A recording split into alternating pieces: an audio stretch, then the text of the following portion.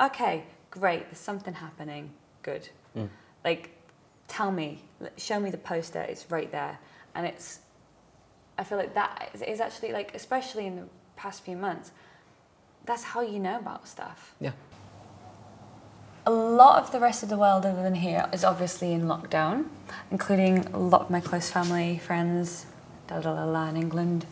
Um, in terms of the, the question about live theatre, is live theatre, or not, not just theatre, gigs, anything live, performance, art, etc.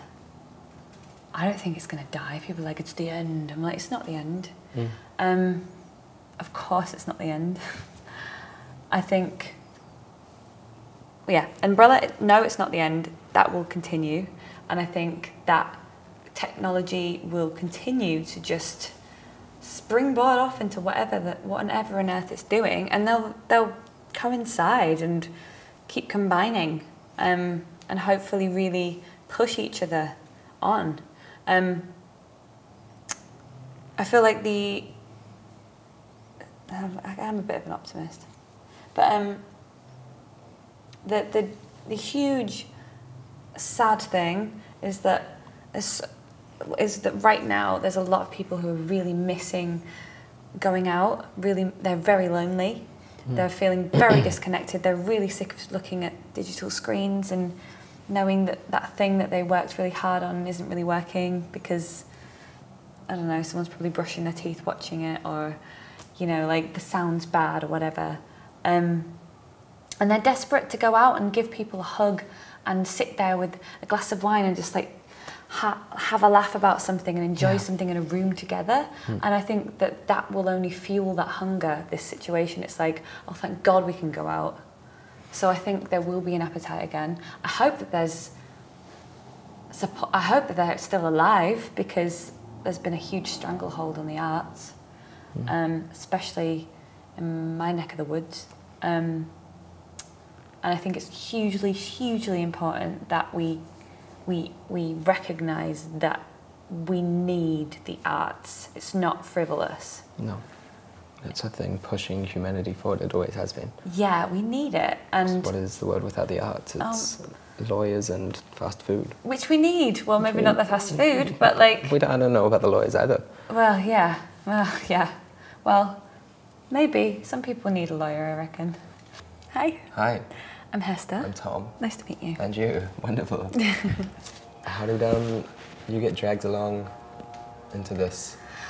Um, I got asked um, to, yeah, to, to, to talk on a podcast by Marion. And um, it's because I'm, uh, I'm, I, I trained as an actress.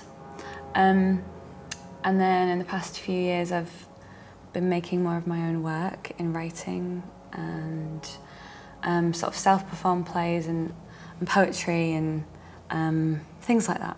Okay. So it's kind of merged into a different space, which I find I, I really like it. Yeah. How about you? I checked my emails accidentally Yeah. um, and found an email from Marion, who I've known for about seven years on and off, Uh-huh. due to her being kind of closely associated with my parents, um, who run a food business. Mm-hmm. Um, and I've just done kind of work with her at the theatre doing bar work. And most recently had to go up to Wellington with her and uh, kind of perform as a prop in an artwork. Ah, that sounds good. Graham Bennett, who was doing, if you know Graham Bennett, he's a kind don't. of Christchurch sculptor who's been, I suppose, doing work for the last 100 years, but maybe 60 years. We don't know how old he is. It's just been doing work for a long, I was just long looking time. like, oh my god. no, no, he's, He's just- like, yeah. um, that was to do with some 3D photography. So he knows Marion from working with the Free Theatre as well, doing prop, prop work and uh, set design. Um, What prop were and, you? yeah. I was myself. I Oh. was myself. I was my um, naked body that was uh, in a 3D photography booth, which this guy has set up in Wellington, where he takes it around kind of comic cons and things of that nature, and people pay to get their 3D photo, Oh my which gosh. then can be shipped off to I think it was Canada. The file was shipped off to Canada and is then turned into a kind of 3D replica of yourself, which Graham then incorporated into an artwork, um, which was pretty awesome. Hmm. So we kind of connected heavily up there, and we had some long chats over beers. And I Do you have suppose you thought I had a Mini me somewhere then. yeah in the Christchurch Art Gallery at the moment. Really? Yeah, yeah, yeah. Well, there you go. Along with uh, 12 other people, which is super interesting. I hope that it's not like a night of the museum thing where they come alive and start doing odd things. Well, I can they never know. They might, yeah. And I, you've they kind might. of because it's like there's like that photograph idea is that if you could take a photograph of yourself, it's like part of your soul. Mm. So I don't know what happens with a 3D body image. Like, I hope I'm safe. out. I hope I don't get the police knocking at my door. Yeah. Yeah. Yeah. Yeah. Mm. Cool. You don't want to be provocative. You don't want to get on anybody's nerves. You just want to do the your assigned place in life. Mm. Um, and in acting, is that what you want to see? Just the 'cause there's a deepness in that as well. There's the individual coming forth into an existence of of hardship and of want, but also not wanting to go too far. I think yeah, I think yeah, but also not necessarily just those characters. I mean, yes, those characters though, um, but just um, the way I put it at the time was a less stereotypical view of a person from the north. It was very north focused at the time because that's where I was writing. That's what I had. That's the story I then had to get out of my head. Okay. Um, whereas recently, it's been more of a kind of. I had this thing, so at school I used to always be the one who had my hand in the air. You know, I was always the one, my parents were teachers. I'm, I was always like doing my own homework projects, stuff like that. I just like making stuff, you know? Mm. And there was a point, I remember it was like maybe college, and then I was like, why is no one putting their hand in the air? Oh my god. And I realised I was the only, often one of the only ones. And then I realised, a few years after that, I was still really afraid of putting my hand in the air and saying, I'll do something. Right. I'll, I'll give my voice. I'll add to this pile. And the people who always would were people that you always hear in Mm. terms of like the demographic of people you'd expect to be the writers, the makers, the whatever. Yeah. It's like if you're not going to put your hand in the air, don't complain. That's No, what sometimes. Yeah. I, so I feel like I mean, it's the thing recently with voting. yeah, just add your voice in. Yeah. And if you think you should be, do it. Otherwise, shut up. Mm. Do you know what I mean? Yeah, well, I mean, it comes into terms of people.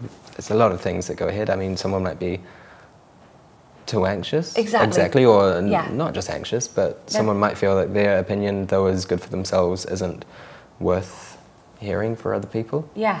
And that's true. And that's Mm. why I was like, what is my problem? I'm just afraid. Right. So if I'm afraid, if it's because I'm, I'm afraid people will think I'm crap, I can deal with that, Yeah, exactly. you know? That's their thoughts, not Yeah. your own. Yeah. Because maybe as well, because actually, I, I do need, like, I'm so, my mental health is massively better since I started making my own work. Okay. I feel like I'm making other people's lives better. Mm, which is wonderful. Yeah. But like, maybe like the husband who's been dragged along and just wanted to stay I'm sure he sounds something from. But yeah, maybe. There's something going. Yeah. Some difference. And that's what I just want Some to keep doing. Outward. it feels it feels good. And if that has to Mm. be on a digital platform or a theatre pr- live platform, Mm. whatever, the good thing about the digital is that it will reach them. But I think, I suppose my point is maybe to finish that bit of wobble for me is like, if you're going to do that, please give it. Um, don't just think you can flippantly, oh yeah, we'll just record it because it actually hurts the art. Right. You have to have a specific reason. You have to know Mm. what, what whether if it's going to be this is a live performance that we've recorded snippets of. That's sort of better, I think, than oh, I don't know. It, I feel like you, it's better to do like a tailor-made version not- for digital Yeah. or live. You don't want to replace, do you? No. Replace. Replacement seems like it's, um, or necessarily replace because there's nothing else to put your work on. I wouldn't, um, I wouldn't consider myself an artist, and I don't know, only for the purpose because I, I don't know what that means. I think it's such an ambiguous thing to call oneself um, because it's everybody's got their own take on it. Um, but to put something online with the yeah, without kind of giving it full attention for the only reason to get your stuff out there, I don't think is yeah, I don't think is worthy.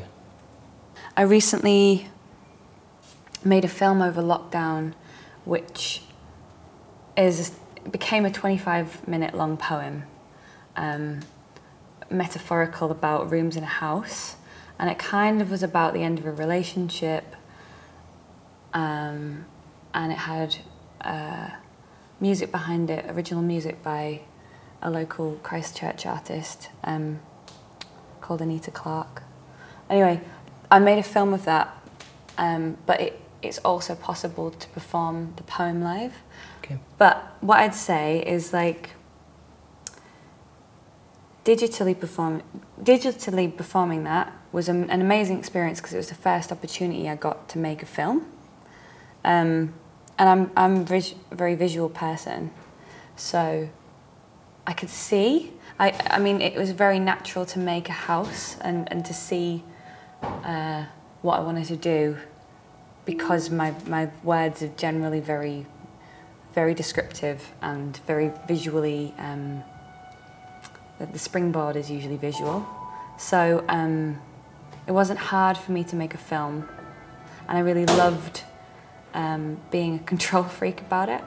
I loved kind of being able to give each moment um, a kind of a, a, focus that it deserved. So you had the time to Yeah. be the director, the actor, Yeah. the writer, and to have a cup of tea when you wanted. That Yeah. wasn't just all at once for for the audience, right?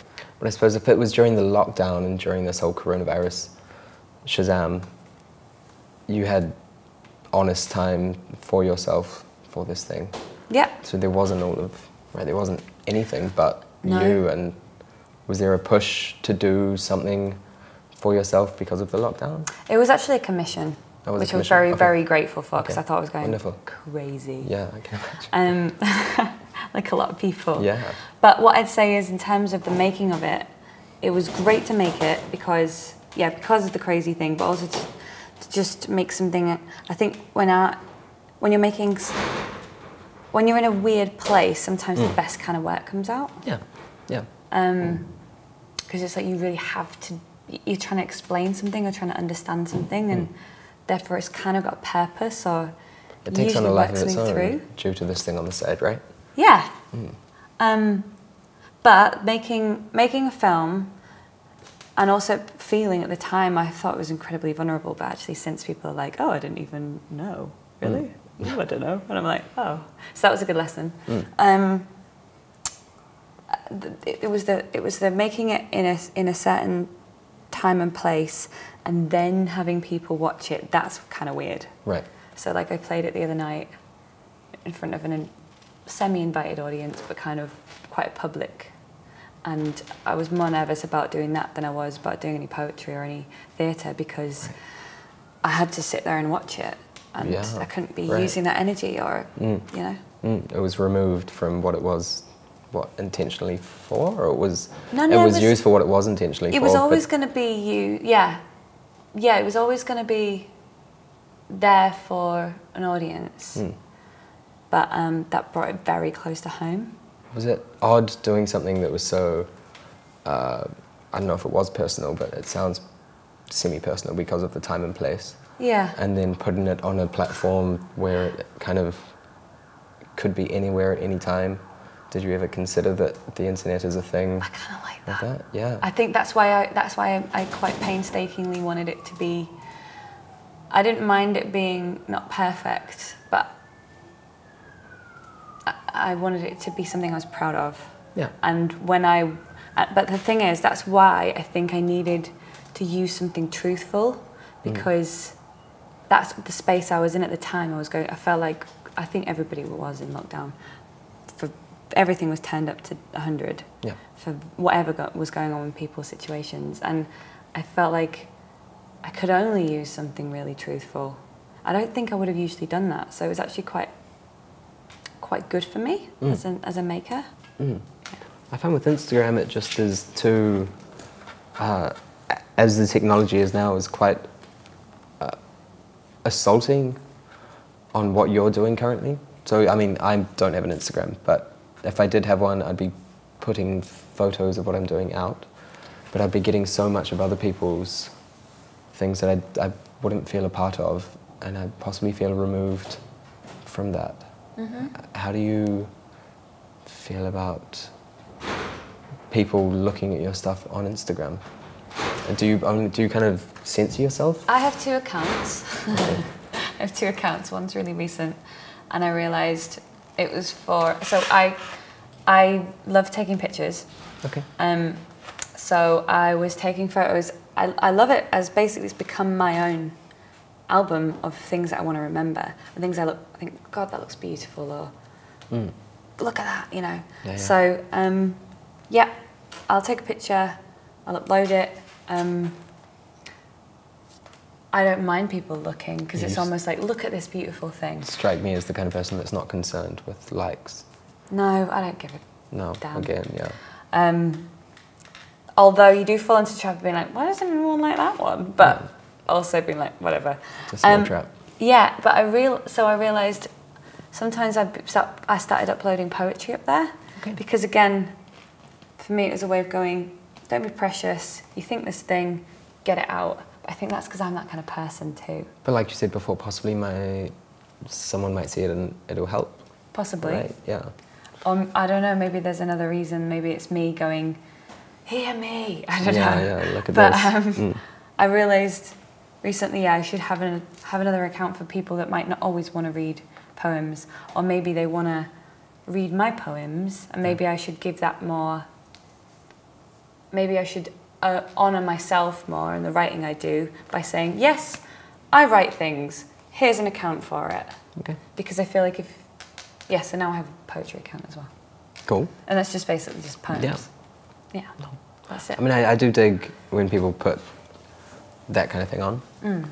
Um, it is the medium, right? But I just wonder, again, what's it what's it replacing, and was that thing more more intriguing or more intoxicating in the past? I, I don't know what. Well, I guess it. So for me, it's about making sure you do both. Like I don't think so. My poems wouldn't be going anywhere Yeah. because, I mean, maybe they'd be going on a piece of paper, and I could like post them on people's doors. Yeah. Go read me, Yeah. but like they wouldn't. But like the other night, I put on a gig because I'm conscious it shouldn't just be digital. Let's put, let's listen to these words. We ca- we have the benefit of being able to get together in a room. So let's have a couple of wasn't just me. It was two of the poets that I asked with very different voices to my own. And let's get in a room and, and say them, and see what happens then. And that that is very different from being in your room and posting and Yeah. having it a like or whatever. Yeah. How about um with the with you like in terms of vulnerability on that tangent like Yeah. how did it feel for you being nude and in public and all that? It wasn't so much. In, well, I suppose the show's in public, but it's not. It's not me. It's Mm. this copy or rendition where you can't quite even tell it's me. Oh, so it's not you physically, but it is no, you. So it's me. but It was a you. it was a photo turned into a into a model that then is incorporated in this sculpture. Um, Has so I was naked in a man's garage Mhm. with a couple of other naked people, which was fine. Which I suppose you you're I suppose a, a prop. You can remove yourself and naked body from the from the situation, um, and then when you're in the gallery, if you're looking at a model of yourself naked, you know it's not you. Has it got your head attached? Yeah, yeah. Yeah. But because the technology isn't so precise, it's a kind of it's a really good rendition. But you're this big, Wow. um, and because there's so much going on, and you're in a gallery space, which I think people, if it was just alone in a room, but there's so much going on in a gallery, and there's other people, and you've got to understand that the person looking at it isn't so concerned with the individual; they're concerned with the artwork as a whole. Mm. I don't look at the these faces and think, who is that? And are they worried about having their faces rendered? I'm thinking of the artwork as a whole. Yeah. which is kind of similar. Well, it becomes something else, doesn't it? It is, yeah. And because it's someone else's artwork, I feel kind of far removed from. Yeah. I feel a part of it, but just because it's my physical being, it's not my ideas, which I think are far more uh, important. So it's his, it's his Mm. beast, rather Mhm. than in your case, it's your mind and your being that's Yeah. on performance.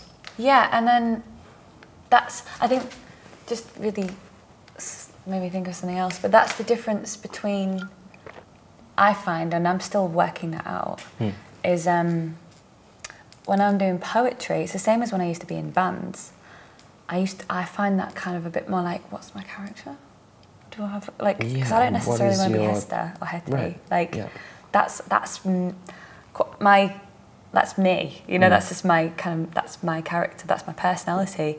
Whereas that's, I think that's why I loved and trained in acting initially because I loved, I loved becoming a character. Right.